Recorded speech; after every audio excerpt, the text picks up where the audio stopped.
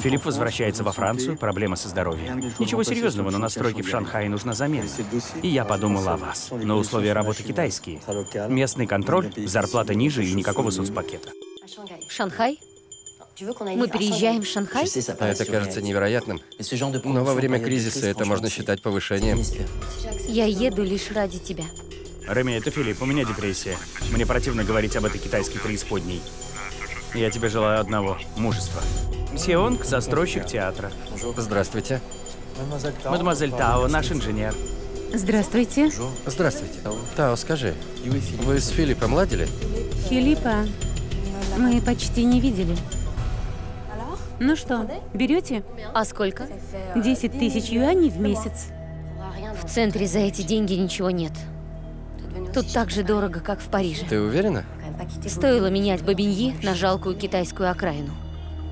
Почему рабочие от меня шарахаются? Архитектор не должен опускаться до работяг, на это есть бригадир. Простите. Простите. О, нет. Давно начали, Два часа назад. но собирались в 10.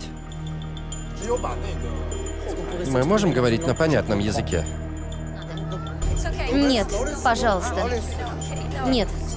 Хватит. Да отстаньте же вы. Чувствую себя иммигранткой. Как и многие французы. Их фирмы хромают, увольняют персонал, делают ставку на Китай. Чтобы сохранить работу, люди едут сюда с дерьмовыми контрактами. Для них это мир наизнанку. Я хочу знать, почему мы здесь. Меня сократили.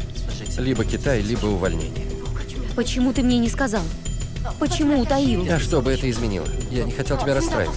Ты выкрутил мне руки. Обманул.